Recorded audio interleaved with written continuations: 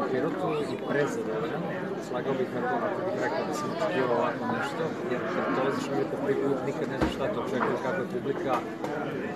Odnos sa publikom u nekom gradu se gradi više godina i, i, i više nastupa i ovaj, po prvi put smo u Pirotu bili stvarno fantastična podrška i raspoložena publika i puno nam srce što smo došli. Pre super mi da, klinici slušaju našu muziku, uprate poruku koju šaljamo kroz pesme, to će verovatno se godinama malo drugačije shvatiti, ali ovaj, drago mi je da, da vidim da klinici slušaju i da ovaj, kad god imam priliku trudim se da ispuštam sve što se tiče slikanja, ovaj, selfie šta god i ovih autograma.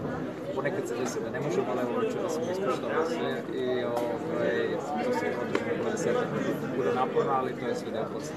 Dobro, znaš kako, kao u svakom bendu od početka i onda smo bili ono demo band, pa do dan danas se menjala postava i to je sad, da ne bih objašnjavao ko izlazio, ko ulazio, to je normalna stvar. Ovaj, meni je meni drago da evo ekipa, ve, veliki deo ekipe, ovaj, sad sa Roković od 2009. godine zajedno, eto, Pera saksofonista, nažalost, izašao iz priče,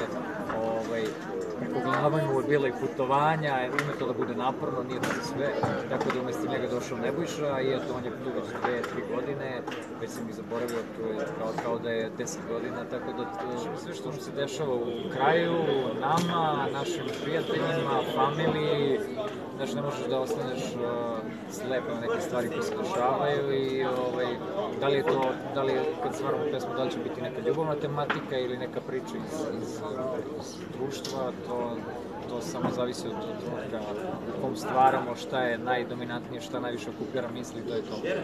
U tom smislu izgleda ste večeras premijerno i pesmu Teško je, pa da li je teško i kakva nam je perspektiva? Ne, to je ovaj naš osvrt na ono što se mora nije teško, jer nije naprotiv, što se mora baš je teško i nikad teže. I ovaj, pesma obrađuje neke priče u kojima se nalaze obično mladi ljudi ovde i, i ovaj, kroz to što smo mi prolazili i na, naše društvo. I, ovaj, ne znam, vidjet ćemo kako će se ljudima svideti. Uglavnom, drago nam je ovaj, i publika super prihvata i to je nebitno. Jedna od najpopularnijih pesma je pesma Lutka. Neću vas pitati za značenje, to je na onima koji slušaju da shvate, ali like. da li ste tada mislili kada ste stvarali da će to biti jedna od najpopularnijih pesama za prvi ples na? Ne, nis, nikad ne znaš ovaj životni put će pesma uspeti, da li će uspeti, kako će ljudi prihvatiti. Ovaj, mi smo znali, naravno kad čuješ pesmu osjetiš da ima neki potencijal, ali dalje od toga ne možeš da pretpostaviš nikad. Imamo gomilu pesama koje su se nama lično dopale iz benda, ali nisu toliko zapaženo prošle i dešavalo se da neke pesme za koje smo mislili da neće toliko uspeti i uspeju.